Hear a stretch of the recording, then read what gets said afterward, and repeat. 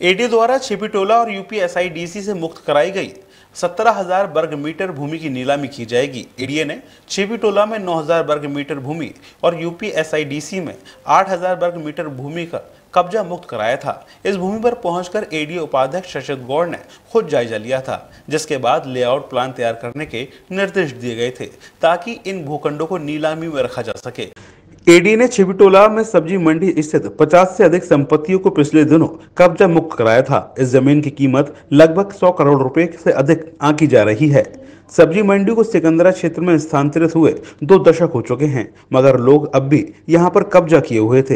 यह व्यवसायिक ज़मीन है, जिसकी छोटे छोटे भूखंडों में नीलामी की जाएगी।